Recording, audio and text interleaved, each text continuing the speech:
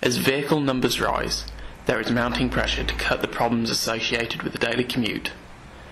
As a result, the industry is looking to the electronics sector to implement intelligent transport systems. In terms of uh, time and, and pollution, uh, big advantages would be reduction in people uh, congested in city centres, for example, looking at parking uh, spots. There is some data that suggests that 20% of all vehicles on the road in city centres are actually looking for a place to park.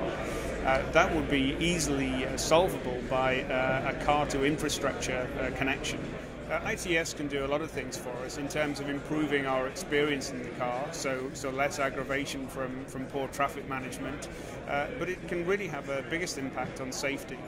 So in the UK, uh, there are around uh, two and a half thousand deaths per year, uh, and one of the ways that we could avoid this is by better car-to-car communication, devoid of avoid upcoming incidents, and also to be able to get higher density with greater safety. Telematics can do two things to improve safety for the future connected vehicle.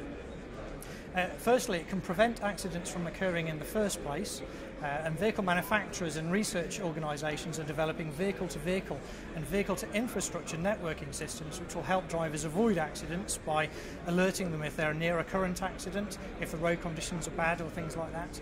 It can also help the occupants of a vehicle unlucky enough to be involved in an accident by uh, automatically recognising the fact an accident has occurred and sending pertinent data such as vehicle location, number of occupants, uh, etc. to the emergency services to obtain a rapid response. We are starting to see for example, uh, GPS and location becoming an integral part of car. We're also starting to see connectivity becoming an integral car, uh, part of car platform from Bluetooth for your uh, hands-free kit to GPS for navigation, GPS for telematics, emergency response, but also location for in future having intelligent highway connected to the car uh, platform. And same thing with connectivity.